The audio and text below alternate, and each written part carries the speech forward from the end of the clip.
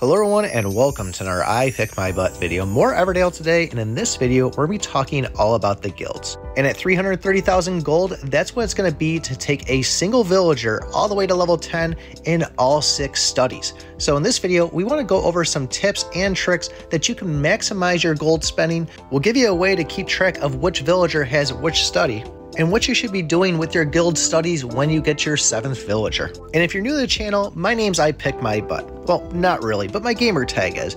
But at any rate, I am addicted to Everdale and I'm going to continue making guides on it, so if this is something that's interests you, consider liking and subscribing. So I would say there's about five main things that are involved with these guild studies. Number one, you need to unlock the education tab in your research study at study level 6. Number two, you will have to upgrade your village huts to increase the level of your villager. Number three is based by your reputation, it will depend on which max level you can make your villager. Number four, you will have to gain experience for whatever study that you're trying to do. For example, if you want to upgrade your villager in farming, well, you're going to need a farm for a little bit to get that experience. And last but not least, number five is all going to depend on what level your guild buildings are inside your valley. As nice as it would be to max a single villager, I really wouldn't recommend it in the beginning. And if you are on path with your valley, you're actually going to find out the first two you're going to be able to get is the Woodcutters Guild and the Farmers Guild. When your Great Library gets a little bit further, then you'll run into the Clay, the Research, and the Stonemason, and then go even further down the road, and then you'll finally get the Builders Guild. To make things easy, I try to name my villagers towards whatever guild study they have. For example, you can see I have Pumpkin, Reek for research, Woody, Clay, Stoner, and Bob the Builder. And I also try to match whatever their outfit and house is to whatever guild study they have. Now, this isn't necessary, but it does make it easier for me on the fly to make sure I have the right person in the right area. Once you have an idea of which villager is going to do what study, I'd say if you have the opportunity, take them all to level 1. And as you can, it shouldn't be too difficult to take them to level 2, so if you have the money, go ahead and do so. But if you don't, hang on because once it comes to level 3, that's where the cost of things start getting a little expensive.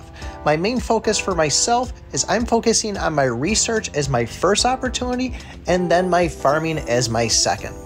Both of these should be pretty easy to gain the experience on because really you should always have somebody in your study and there is always somebody that's going to be farming.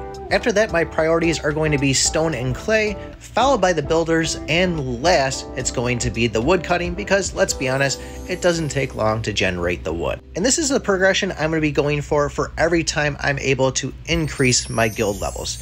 But before I go and start getting people to study guild number four, I'm actually going to go through each of my builders, minus my research one and start putting the farming on them. The nice thing about the farming one is we can also use these out in the valley for things like wheat, sugar, salt, or even wool. For some reason though, cotton, because we're picking it off an animal, that doesn't count to it, but there's plenty of places that we can use it. Plus, if you have all six villagers working inside your village, you're going to run out of soup pretty fast, so it's nice to be able to just take one of those villagers, throw them on the other pumpkin patch, and keep that soup supply going.